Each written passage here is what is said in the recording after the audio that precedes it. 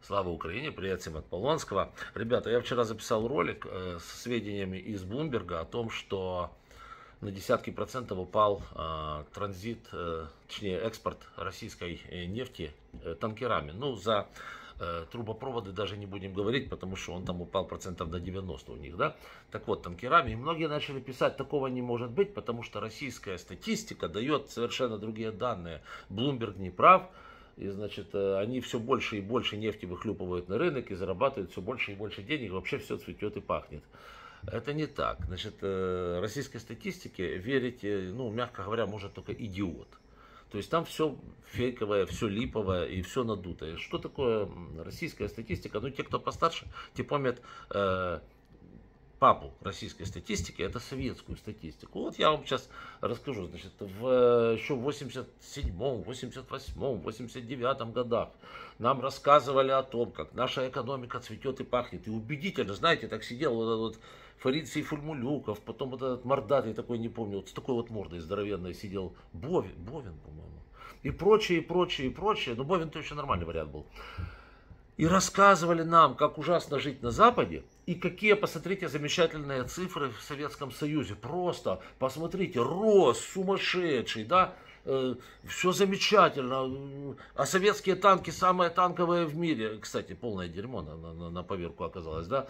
Вот когда до дела, до дела, дело до дела дошло, да, особенно в плане, в плане выживаемости экипажа, когда у экипажа под, э, под ногами находятся снаряды. Ни в одной армии мира такого нет, идиотизма. Это только в танках Т. Вот. Ну, марки Т. Т-72, Т-64, Т-90 и так далее. Это все взрывается вместе с... Э, хотя за Т-90 не буду говорить, я не знаю. Т-80 точно. Вот. А это же больш, большая часть российских танков, да. И все взрывается вместе с людьми. Э, да, в то время как у всех остальных оно вылетает просто в зад, и экипаж остается целым. Ну, это же не про Россию, не про Советский Союз. Да, так вот нам рассказывали, что в Советском Союзе все такое замечательное. Посмотрите на цифры, мы растем, мы... У нас самая передовая промышленность, мы гаек насверлили больше, чем болтов.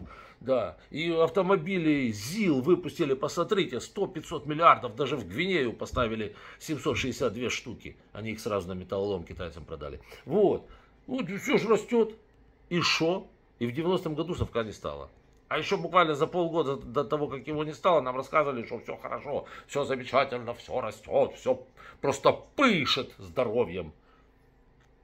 Вот, и, собственно, и все. Сегодня российская статистика, это советская статистика времен, времен Горбачева. Да, то есть э, какие-то там они, даже, понимаете, э, при Горбачеве в СССР был шанс э, выцарапаться там просто сама как бы слабость Горбачева как персоны оказала большое влияние. Вот. А здесь у... Вот представьте себе, Советский, э, Россия сегодняшняя, это как Советский Союз.